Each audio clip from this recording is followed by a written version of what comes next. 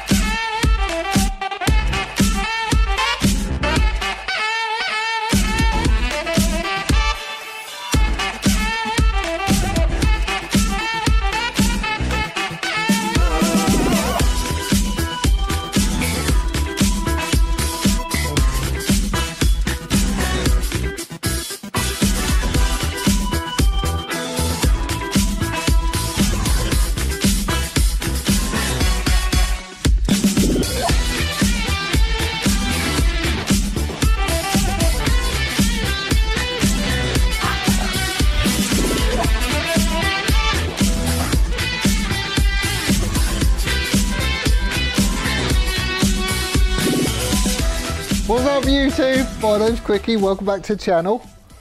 Today we're just getting on with it. You're going to be seeing bits and pieces of me dipping in and out all week because I really haven't got that much time but I want to get this done. so, um, in the bucket, uh, I pulled, basically I pulled all the cross slide apart uh, and I'm doing the citric acid trick. Um, did this on the, the fuel tank and it took all the paint off, all the rust off and everything and the bucket is, is bigger than the ultrasonic bath. So we're giving it a whirl. So in here, basically all I've got is, um, it's a mixture of citric acid and just water. So for every one litre of water, it's 10 grams of citric acid. However, my scales broke, so I'm guessing.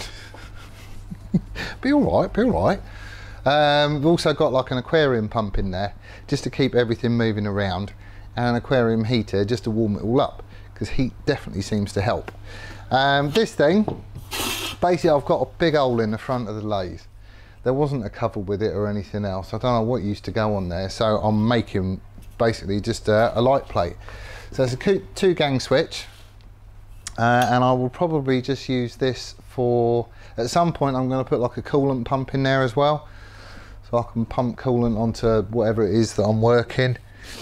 Um, and the other one will just be a working light.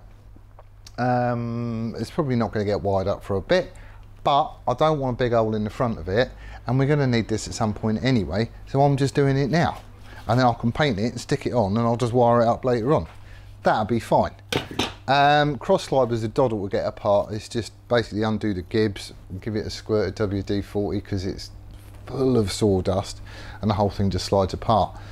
So he's in there. He's been in there for about an hour. Yeah, about an hour um, and it's already starting to sort of clean up. Let me show you.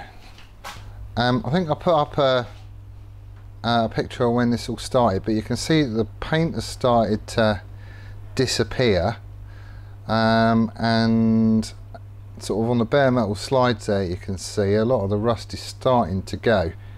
Um, this is just going to get left in there for 24 hours worked a treat with the Trank, so there's no reason why it shouldn't work with this. I have got more Evapo-Rust coming, but I've got this now, so that's what I'm doing. Right, so the apron carriage assembly or whatever, it's, I've had it in the Evapo-Rust, but I ain't got a lot in there anymore. I've got some more coming, it turns up on Wednesday, but what I'm thinking is I'm probably going to shove this through the citric acid once that lot finishes um, just because that will get all the paint and everything else off give it a bit of a tidy up um, if I need to finish it off in the Evapo-Rust when that comes I can do so but it's, it's not that it's just got rotten stuff in it like all the sawdust turned to varnish and blah blah blah So it's probably going to need the Evapo-Rust treatment, I think, in the ultrasonic, but citric acid will get all the paint off. So that's probably what we're going to do. Stay tuned on that one. Um, started cleaning down loads of the covers and stuff. They're just going to get painted. So that's easy. I'll get that done tomorrow when I'm back in. Hopefully the cross slide will be done and I can just switch this out, you know, and, and start it going. Leave it 24 hours and we'll be in.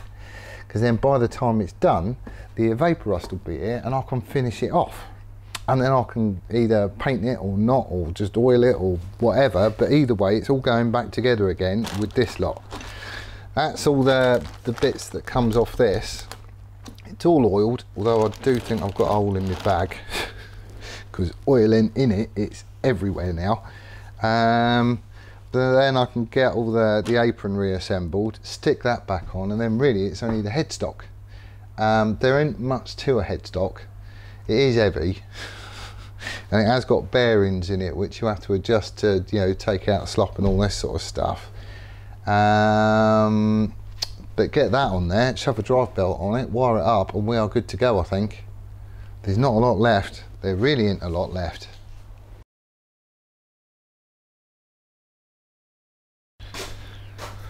Right then.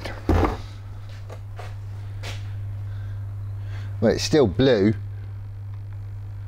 but the blue just scrapes off. Ideal. We'll have that out in a minute, have a look, see. Sweet! What we got here?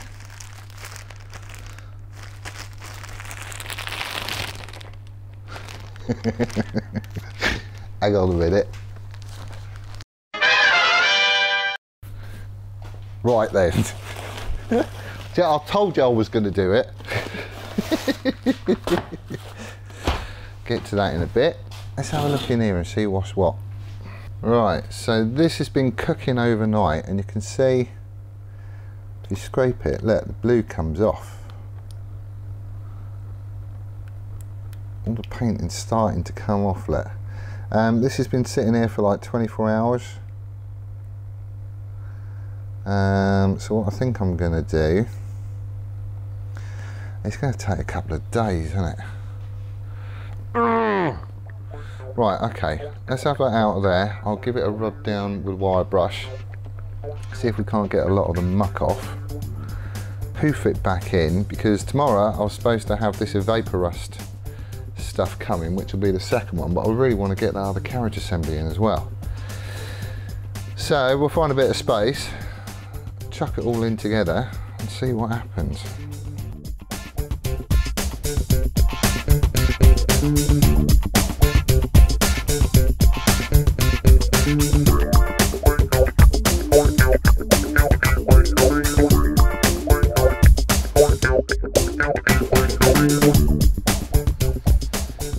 Some fresh solution in there now. The other stuff had gone green, so I just replaced it with a new batch.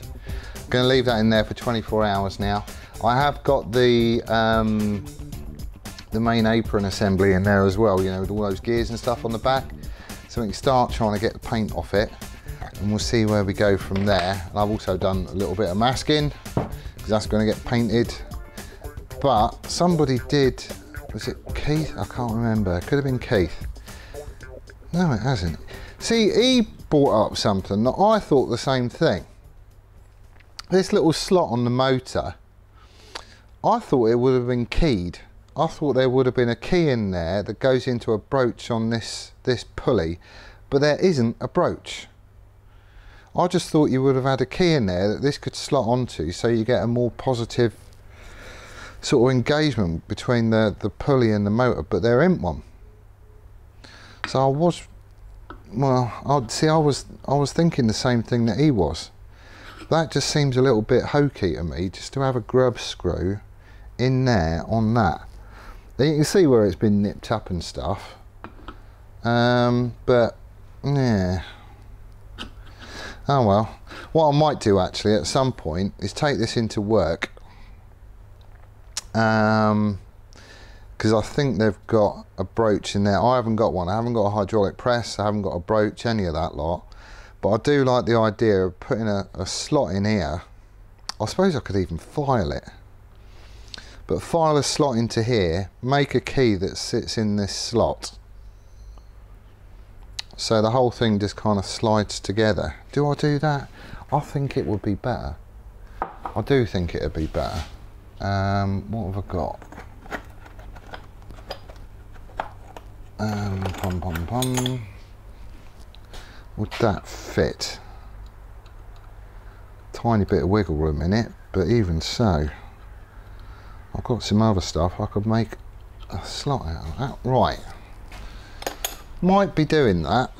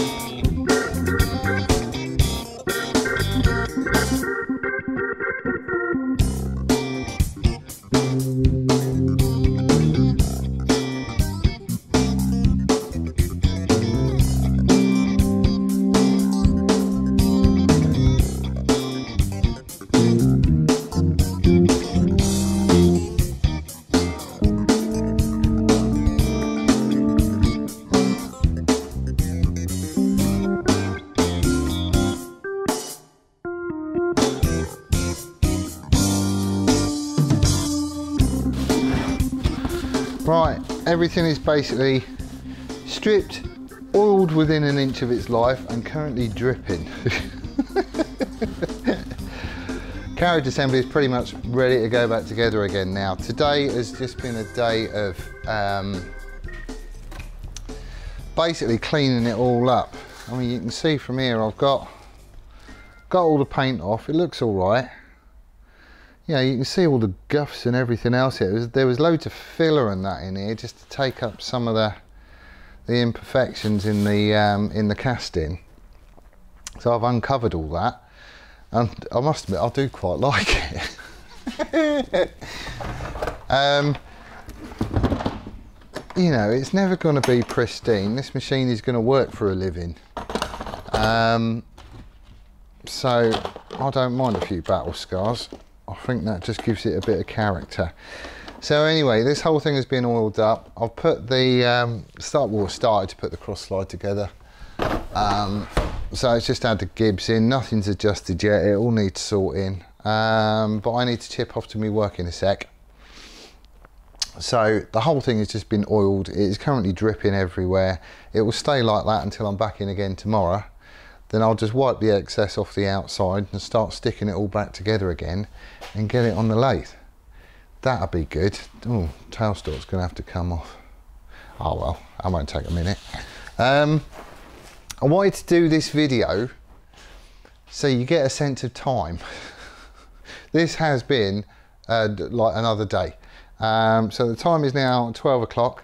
I was in here at nine o'clock um, and most of that time has just been spent scrubbing and shoving stuff through the, the, the ultrasonic and letting it soak and, you know, giving it another scrub and getting a wire brush on it, and it just takes bloody ages. Ages and ages and ages. But what you see in a video is like a 20 minute doohickey that looks like I've just had a fun afternoon. Right in. I've been at it all week. it's weird how you lose a sense of time. It just doesn't come across in the videos. And like, because it's all in one video, you try and keep the same t-shirt on and stuff like that. Yeah, I ain't doing that anymore. but anyway, back at this again tomorrow and we can get all this shoved back together again, hopefully, and stick it on the lathe. Um, and then, see, I was going to paint those covers and I just, I've completely run out of time. They was going to get another coat.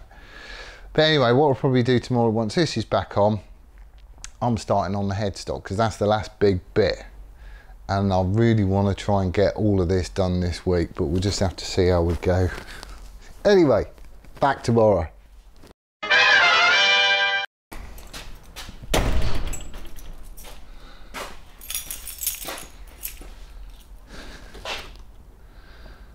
All right, let's get this back together.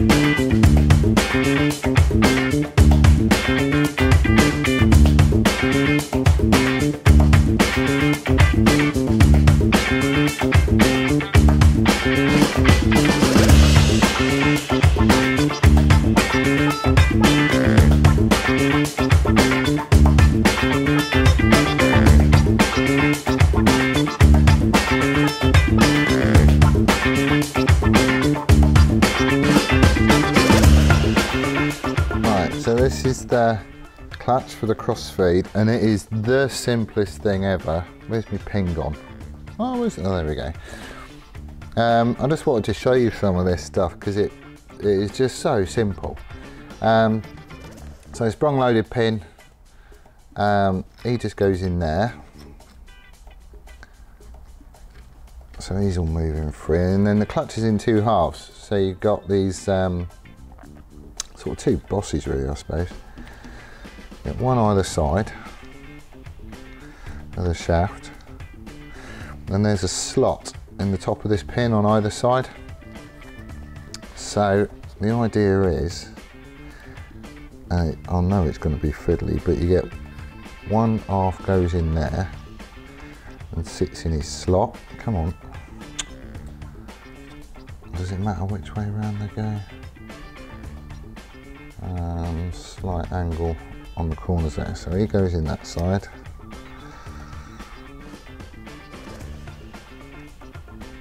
Like that.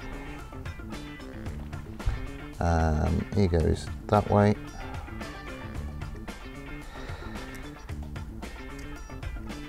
Come on.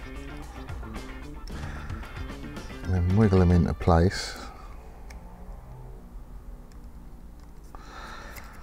See, I knew this was going to be a cock.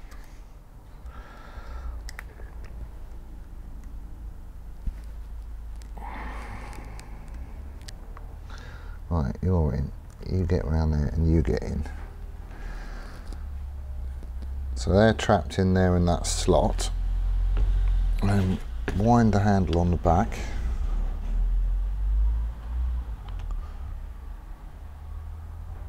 Come on.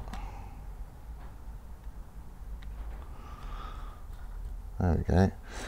So as you tighten this up, essentially it just pulls that pin through and it flattens out those two sort of semicircular bits of metal which force the boss outwards to engage with the gear and that's it, it all just locks up. And then to release it, you just release the pressure on the on the pin. That's it, that's the clutch. this bit was annoying. There's a retaining screw that goes in the end here. Yeah, that's a left-handed thread. That took me a little while to figure out in the first one when I was trying to pull it all apart. Sneaky buggers. But if you think about it logically, it has to be a left-handed pin. That's how I figured it out. make sure he's done up and snug this one down.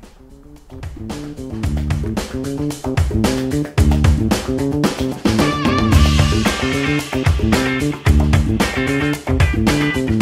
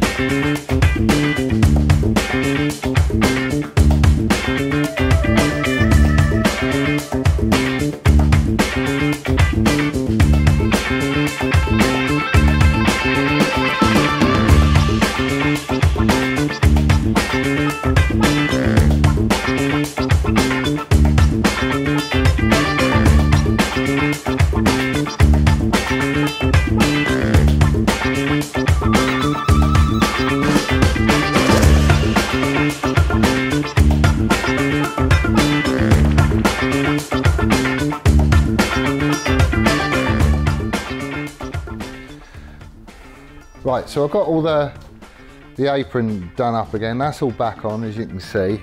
Uh, it's all hooked up, half nuts engaged, and the clutch works, and all that other stuff. Um, I've got the cross slide on, I've got the compound on, and then I've had an oh my god moment. Because I came to fit in this. This is the screw which goes through the cross slide. It runs from front to back on the machine. Uh, and basically, you wind this bit into a brass boss and then obviously this hooks up with the drive gears um, for the for the for the sort of automatic feed. Um, and then on here there's supposed to be a casting that comes out with your hand wheel and all the rest of it. Um, now this machine was adapted. The only thing it's ever really cut up is rubber tubing. So um, this was part of the adaptation. This fits that's fine. It's just I haven't got the casting and the hand wheel and everything else. However when I bought it matey gave me this. I thought, ideal, that'll bolt straight on. It don't. Couple of problems with it. Um, the thread on this is very slightly different to the thread on this, so it don't go through. That's not a problem, I thought. I'll just have that bit out. I'll stick this one in. Job's a good one. Um, then we come to the second problem. This, from there out, has got a very slight bend to it which I'm not having. It's bent. So that's not a good thing to start off with. Um, then the next oh my god moment is this casting here doesn't fit on the cross slide. Essentially this just goes straight where the, the casting I need kind of comes up and it goes into the, the, this bit needs to come up and there's holes in here which actually mount into the body of the cross slide so I can't actually fit this so I can't use it. Um, I've had a chat with um, Tony from um, lathes.co.uk. These are like rocking all shit apparently. they have a machinist who actually makes all this stuff because he's got a lathe and he's got some specialist tooling and various other bits and pieces and he can make all these castings and whatnot and you know he can do all the shaft and blah blah blah blah blah and you can just buy them off him They've got about 12 people that want these now. and their machinist has currently been poorly for a very long time and they haven't had anything out of him in months so I doubt I'm going to get one from there. So I need a bit of help.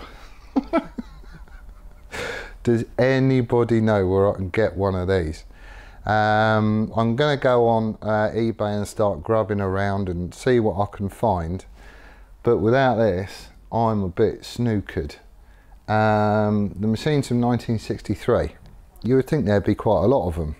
Well, apparently not, because there's a queue of 12 people at least who want one and haven't got one yet.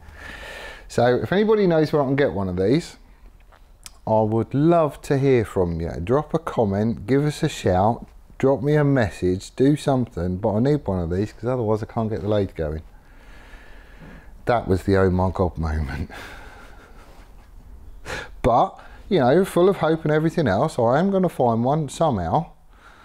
Or I'll find someone who can make one or, or something. I don't know. Um, so I'm just going to carry on with the rest of it. But time is getting on. It's, it's nearly one o'clock now. Um, and I need to tip off to my work. So I'm going to be back tomorrow. Right, so it is now Friday. Time flies when you're having fun, doesn't it? It takes ages, all this stuff. Um, just giving this another coat of paint. I've painted the outside of the, the gear cover as well. That's going to need another coat, but I'll do that tomorrow when I'm in. So anyway, I've been thinking about this um, this casting because you can't get them. You can't get them at all. But the whole point of getting a lathe was so I could make stuff rather than having to pay for it and buy it online. So what I'm going to do is I'm going to have a go at making one. So to do it properly, I'm going to need to have the lathe working. So I've got a big old chunk of alley over there, which I'm hoping is big enough. I haven't checked yet. But I'm going to make a temporary one, just so I can get the lathe working. It will be boxy and it will not look that good. It ain't going to be rounded or anything because it's going to be done on the mill.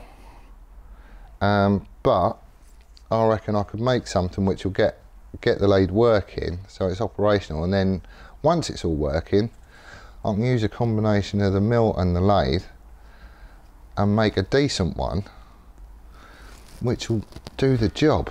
Why are you running? Oh that's because I've ladled it on isn't it? Right.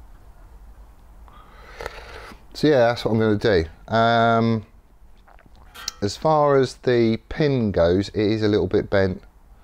It is bent. It's about, um, it's only like two mil, I suppose, which ain't a great deal, but I know it's there and it will just do my head in. so, a couple of options there. We're going to try and get it straightened. I'm going to have a chat with the fellas in work, see what goodies they've got that could help out in the machine room. Um, and I'm either going to try and get it straightened to the point where it's, you know, it's good enough. I mean, it's only like a screw for the cross slide. It ain't got to be dead nuts on or anything else, but if I can get it straight, I want it straight. So we'll have a go there. Failing that, what we could do is get it ground. Because it's only the, like the final bit of the shaft, the skinny bit, which I think is bent. So um, if I get it ground, then all I'll have to do is when I make the new casting, uh, I'll just get a bit of brass or something. Oh, poo, I just painted that you dingleberry. That side. Um, so yeah, we'll get it ground down and then when I come to do the casting, I'll get a piece of brass and I'll just make a bushing to run in it. Um, and I'll just machine it to fit basically. So I should end up with like a homemade casting that looks quite. It's not a casting, I know but it should look quite good. It will be in keeping and it will do the job. So that's what I'm doing.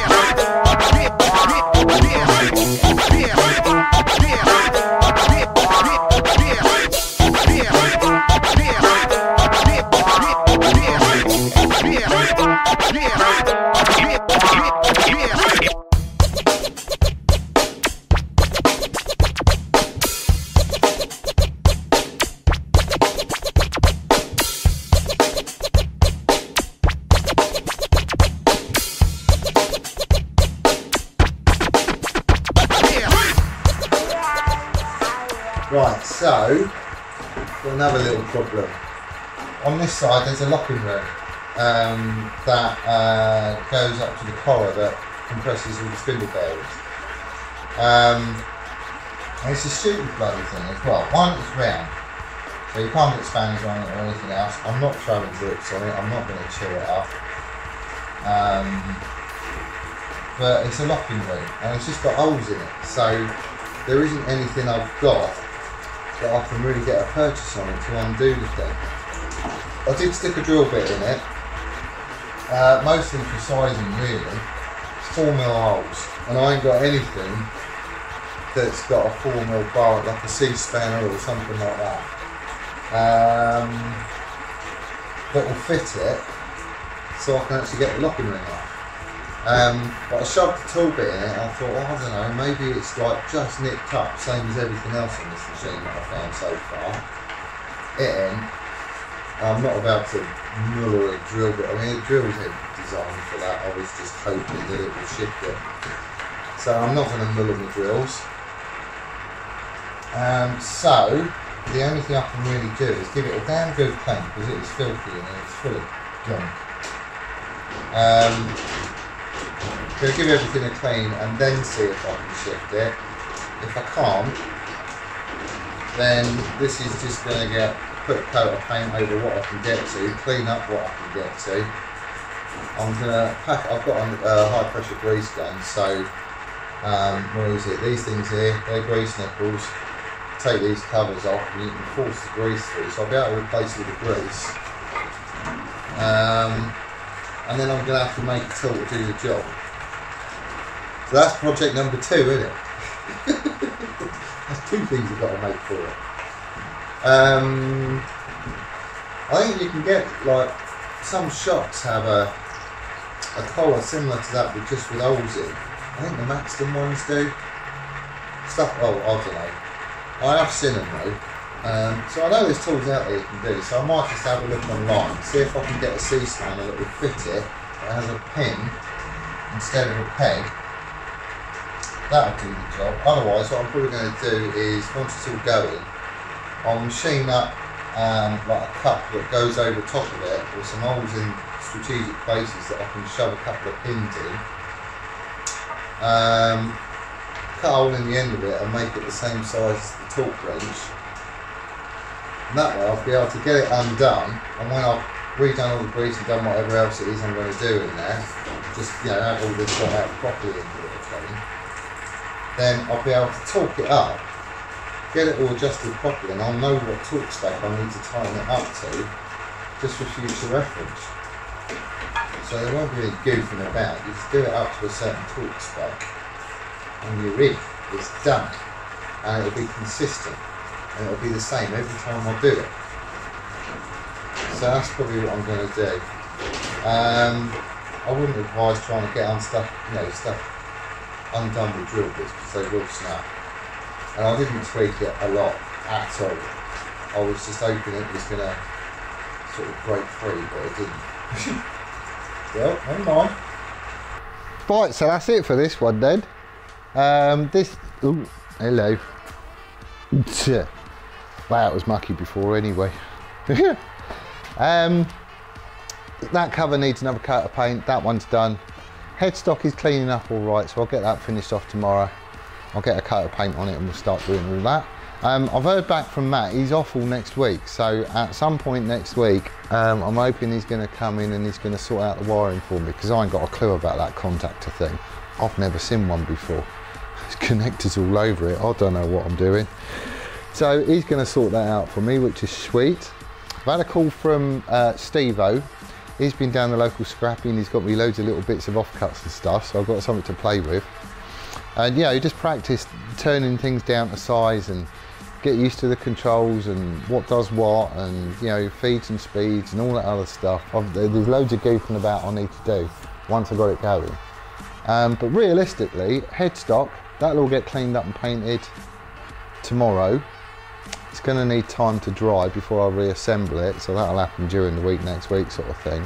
And tomorrow I can have a go at making that um, temporary casting thing for the cross slide because I do want to get that sorted. Um, I'm going to take the shaft into work with me today and see if there's anything they can do. Um, but I don't know, we'll just have to wait and see. And if, even if it is a case of grinding it down and making it slightly thinner, you know, just that last little bit, then I can make the casting to fit and, and spin up a bushing, you know, and we should be good. It should be fine. It should be absolutely fine. But I need to, I need to get it done. Um, realistically, I want this going next week. There's no reason why it couldn't be. Um, and then I can start making stuff. Um, I want all that done and dusted and out of the way because Steve-O is definitely, definitely, definitely, where's my t-shirt? It's over there. I am going to wear that tomorrow though.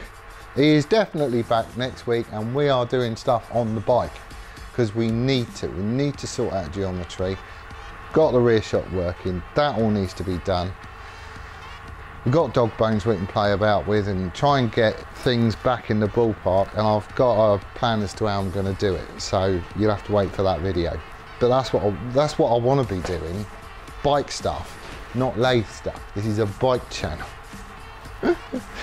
hopefully you've got a sense of what it's like trying to put one of these videos together it's, it's not just like a little oh he had a fun afternoon in, in the workshop and stuff and did a video no it takes ages ages and ages and ages. Today, well, I was in here half past nine, had to sort the post out, a couple of phone calls, bits and pieces. I didn't really start until 10. It's now 12.30, so I need to chip off. Um, but, you know, it, once you start deciding you're going to film stuff and you've got stuff you've got to say and all that other thing, it just eats into your time like anything. And it really drags it out. So your little short video that you get every week takes all week to put together. Oh, I don't mind. This is a lot of fun. I'm loving this. But yeah, you just got to get a sense of the time involved, basically. I would love to do more, but I just can't. There aren't enough hours in the day and I've got to work. So there you go. But anyway, that's where I'm going to leave it. Thank you ever so much for watching. Hope you're all safe and we'll see you again next time. Laters!